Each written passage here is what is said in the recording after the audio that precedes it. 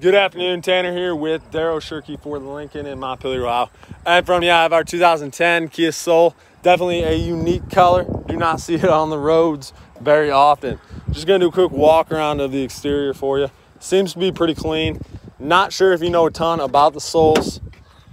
I'm 27, so to me it sort of matters. Their sound system's unbelievable for what it is. Um, you do get the WeatherTech floor mats as well typically a pretty good sign. Somebody took care of their vehicle.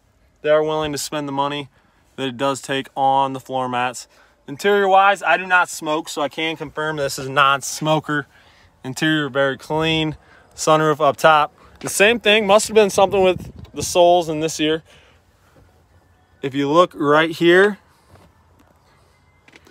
it's gonna be the exact same. Not as bad, but where you rest on that side as well.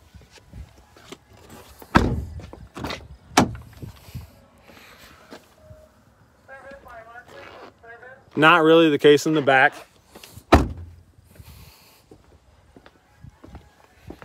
Yeah, other than the fact it needs a simple bath.